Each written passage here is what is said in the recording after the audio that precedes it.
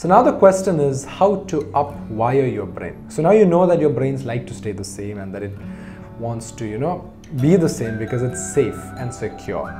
But I know that most of us want to upgrade our lives and become a better version of ourselves every day, obviously, in all aspects, whether it's financially, fitness wise, whatever it may be. So, how do you do it? That's the main question. Well, for this, this takes in a little bit of effort of conscious action. You got to identify times when you're automatically going into certain habits and thoughts. For example, when you brush your teeth in the morning, you don't really think about it, you just brush your teeth.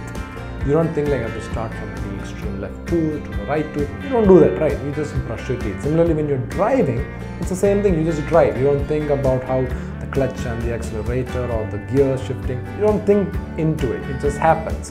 So this is good for certain habits like these. But in other areas where, for example, when you're responding to certain situations, and let's assume that you're a person that gets angry easily, this is where you have to practice conscious control. So many experts refer to these moments of conscious control as meta moments. For example, if somebody says something that really annoys you, you always have a choice to react.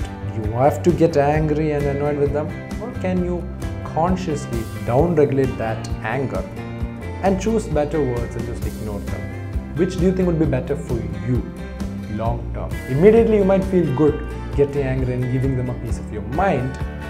Long term, is it really worth it? Do you really want to go through that stress response? I'm assuming no. Similarly, if you're somebody that unconsciously has to smoke a cigarette every time you're drinking tea, which is a common habit that we've seen with a lot of our clients, try avoiding tea. Take out something that causes you to want to smoke or keep an alarm for that time.